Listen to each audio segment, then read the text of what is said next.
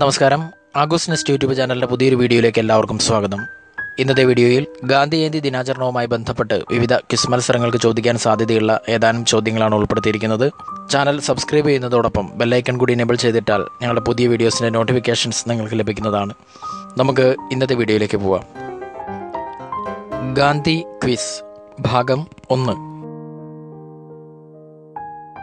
ഗാന്ധിജി ജനിച്ചതെന്ന്. ആയിരത്തി എണ്ണൂറ്റി അറുപത്തി ഒൻപത് ഒക്ടോബർ രണ്ട്. ഗാന്ധിജി ജനിച്ച സ്ഥലം ഗുജറാത്ത് പോർബന്ദർ. ഗാന്ധിജിയുടെ സമുദായം ബനിയ സമുദായം. ഗാന്ധിജിയുടെ പിതാവ് കരംചന്ദ് ഗാന്ധി. ഗാന്ധിജിയുടെ അമ്മ പുത്ലിബായ്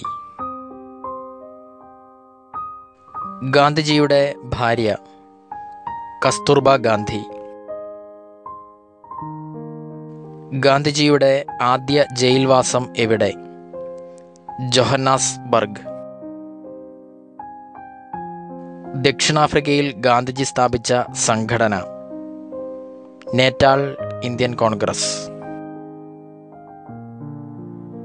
ഗാന്ധിജിയെ ഇറക്കിവിട്ട ദക്ഷിണാഫ്രിക്കയിലെ റെയിൽവേ സ്റ്റേഷൻ. പീറ്റർ മാരിറ്റസ്ബർഗ്. തന്റെ രാഷ്ട്രീയ പരീക്ഷണശാല എന്ന് ഗാന്ധിജി വിശേഷിപ്പിച്ച രാജ്യം ദക്ഷിണാഫ്രിക്ക. ദക്ഷിണാഫ്രിക്കയിൽ ഗാന്ധിജി സ്ഥാപിച്ച ആശ്രമങ്ങൾ Phoenix settlement Tolstoy farm. Gandhiji ഇന്ത്യയിൽ തിരിച്ചെത്തിയതെന്ന് ആയിരത്തി തൊള്ളായിരത്തി പതിനഞ്ച് ജനുവരി ഒൻപത്. ദേശീയ പ്രവാസി ദിനം ജനുവരി ഒൻപത്. രണ്ടായിരത്തി മൂന്ന് മുതലാണ് ജനുവരി ഒൻപത് ദേശീയ പ്രവാസി ദിനമായി ആചരിക്കാൻ തുടങ്ങിയത്.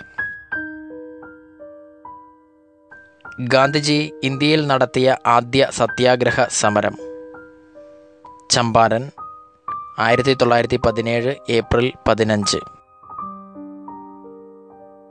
ഗാന്ധിജിയുടെ ഇന്ത്യയിലെ ആദ്യ നിരാഹാര സമരം അഹമ്മദാബാദ്.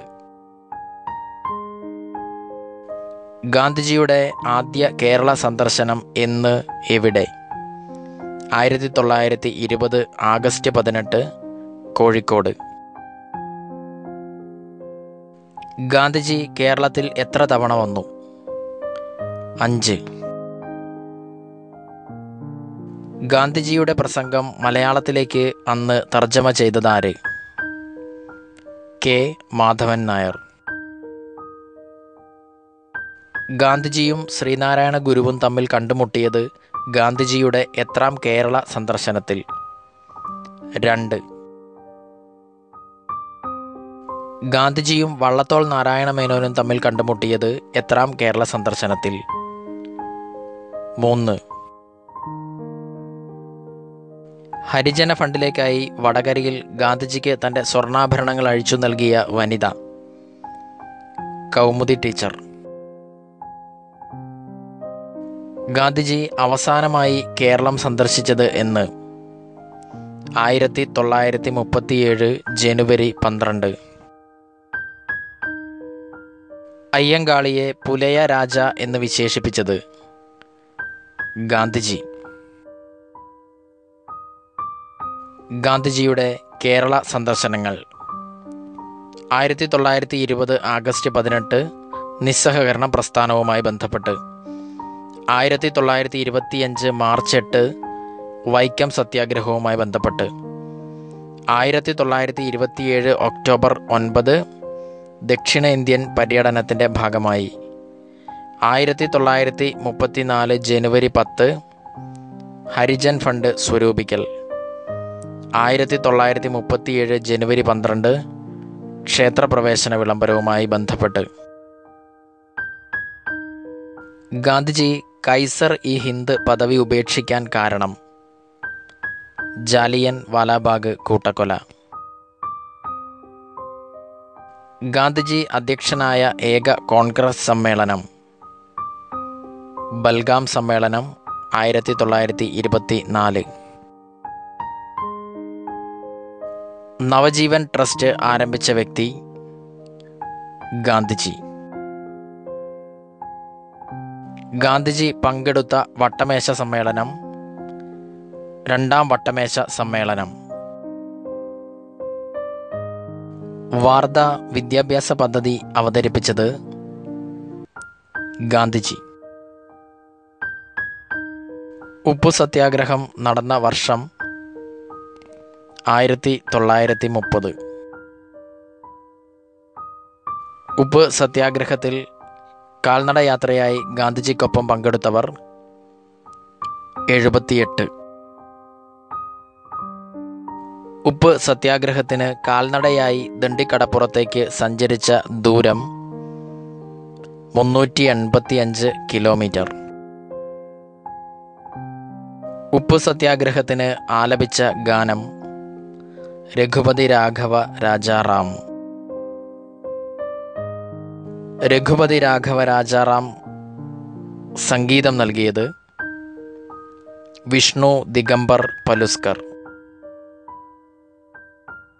ഗാന്ധിജി ആരംഭിച്ച വ്യക്തിഗത സത്യാഗ്രഹത്തിലെ ആദ്യ വ്യക്തി വിനോബ ഭാവെ.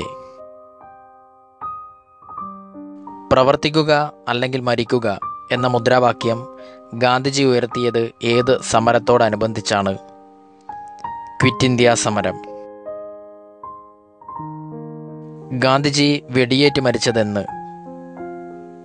ആയിരത്തി തൊള്ളായിരത്തി നാൽപ്പത്തി എട്ട് ജനുവരി മുപ്പത് അഞ്ച് പതിനേഴ് പി എം. ഗാന്ധിജിക്ക് വെടിയേറ്റത് എവിടെ വെച്ച്? ബിർള ഹൗസ്. ഗാന്ധിജിയെ വെടിവെച്ചതാര്? നാഥുറാം വിനായക് ഗോഡ്സെ. ഗാന്ധിജിയെ വെടിവെക്കാൻ ഉപയോഗിച്ച തോക്ക്. Italian Beretta pistol. ഗാന്ധിയുടെ അന്ത്യവിശ്രമ സ്ഥലം രാജ്ഘട്ട്. ഗാന്ധിയുടെ വധത്തെ തുടർന്ന് നിരോധിക്കപ്പെട്ട സംഘടന ആർ എസ് എസ്. ഗാന്ധി വധക്കേസിലെ പ്രതികളെ തൂക്കിക്കൊന്ന ജയിൽ അംബാല ജയിൽ ഹരിയാന. ഗാന്ധി വധക്കേസിൽ ഗോഡ്സെയോടൊപ്പം തൂക്കിലേറ്റപ്പെട്ട പ്രതി. ആർ നാരായണൻ ദത്താത്രേയ ആപ്തേ. ഗാന്ധിജിയുടെ ഇഷ്ടഗാനം. വൈഷ്ണവ ജനതോ. വൈഷ്ണവ ജനതോ രചിച്ചതാര്? നരസിംഹ മേത്ത. ഗാന്ധിജിയുടെ അവസാന വാക്കുകൾ. ഹേ റാം ഗാന്ധിജി ഇന്ത്യയിൽ ജയിൽവാസം അനുഭവിച്ചത് എത്ര ദിവസം? രണ്ടായിരത്തി എൺപത്തി ഒൻപത് ദിവസം. ഗാന്ധിജി ദക്ഷിണാഫ്രിക്കയിൽ ജയിൽവാസം അനുഭവിച്ചത് എത്ര ദിവസം? ഇരുന്നൂറ്റി നാൽപ്പത്തി ഒൻപത് ദിവസം. മൈ ലിറ്റിൽ ഡിറ്റക്ടർ എന്ന് ഗാന്ധിജി വിശേഷിപ്പിച്ചത് എന്തിനെ? തന്റെ തൂക്ക് ഘടികാരത്തെ. ഗാന്ധി ജയന്തി ദിനാചരണവുമായി ബന്ധപ്പെട്ട് തയ്യാറാക്കിയ ഈ ക്വിസ് ചോദ്യങ്ങളും ഉത്തരങ്ങളും ഇഷ്ടമായെങ്കിൽ ലൈക്ക് ചെയ്യുക ഷെയർ ചെയ്യുക. വീണ്ടും ഗാന്ധി ക്വിസ് രണ്ടാം ഭാഗവുമായി ആഗോസ് നെസ്റ്റ് യൂട്യൂബ് ചാനൽ നിങ്ങളിലേക്ക് എത്തും താങ്ക്